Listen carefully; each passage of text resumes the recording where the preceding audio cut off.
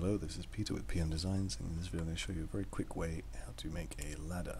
Um, Might if this is purely for beginners who, just to give you an idea of a different way you can do things instead of building everything from scratch. First, you need to come down to your preferences, add-ons, and you need to enable your extra objects. Add mesh extra objects, and then so we go to add mesh down to pipe joints. You'll have this now. I'm going to go for a T joint, and you see we get this. See, I'm sure if you've got any idea about Blender, you probably figured out how we're going to do this now. So I'm just going to drag this over here slightly. About that far should do. Press Control A and apply all transforms, and then I'm going to press F3, type symmetrize. Oh, sorry, I've got to go into edit mode first. Sorry, press Tab to go into edit mode. Select all by pressing A, F3, symmetrize, and I'm going to symmetrize on the plus x to minus x and there we go we've got that now I can very easily just join these two edges together. Um, I could actually just I could, oh, let's do it this way instead. Make it little look a little bit neater. We'll join them together first. I'm alt clicking this this edge loop and then alt shift clicking this edge loop and I go to edge bridge edge loops.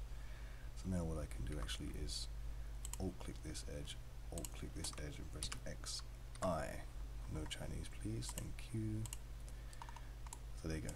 If you yeah you figured out. If you're a beginner maybe not but otherwise you figured out how to do this now. I'm gonna actually extend this up a little bit.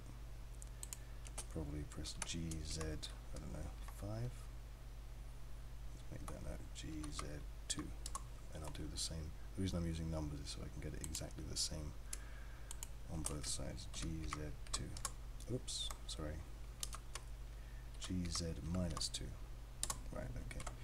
So now I can use the array modifier to do it for me. Array modifier. And I'm gonna stop typing in Chinese on the Z. I'm gonna press 1 so it arrays on the 1 there you go.